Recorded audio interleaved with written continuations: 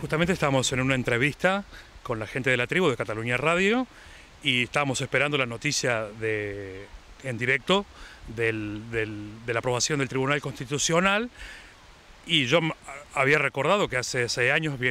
había leído un documento escrito por Abdenur Prado en donde afirmaba y aseguraba esta postura que tenemos y lo dije como te lo estoy diciendo a ti en este momento y bueno, a partir de ese momento se ha, se ha levantado la polvareda que se ha levantado, pero no es nada nuevo, al contrario, es un derecho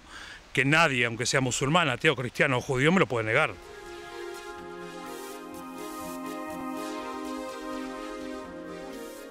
Pues hace seis años, por el acuerdo de cooperación del Estado español y la, Comisión Islámica de España, a partir de ese momento, cualquier entidad eh, islámica o imam que esté dispuesto puede celebrar matrimonios homosexuales según el ritual islámico.